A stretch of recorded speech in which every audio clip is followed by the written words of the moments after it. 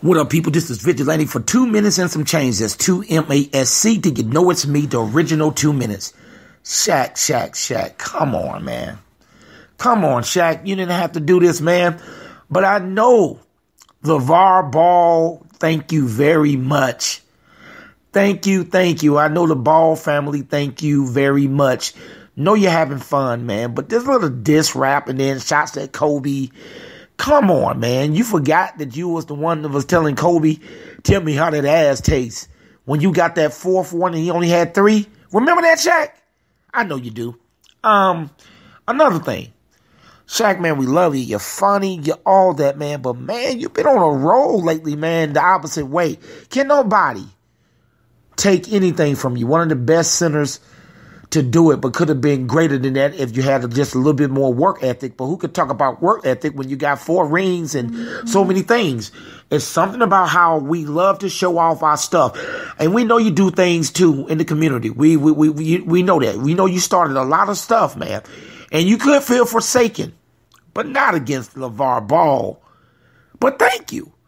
He's doing good. You gave credit to his son. I, I give you that. But man, come on you know, LaVar Ball is a marketing genius, just like you were, just like you are still.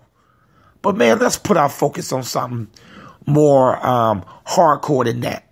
Let's see you get behind, since you're an officer. Let's see see you go against the blue when they're wrong.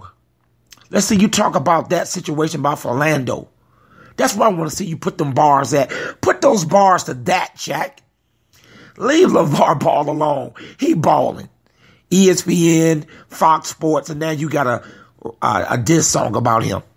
Man, LaVar stay winning. The Baller Brand, big ball of brand stay winning. We know your legacy, Shaq. We know it. We know what you did for rap. We know it. We know how the 90s was when it came to Shaq Attaq, Shaquille O'Neal. But stop Stop it. Because that song crashed just like the movie Shazam did. You better than that, Shaq. Let the ballers ball, bruh. And let you be that legend that you are and get to tackling some social issues. How about that, Shaq? This has been Vigilante for two minutes and some change. I went over, but that was the change. Later on, y'all hear some Dre Mack out.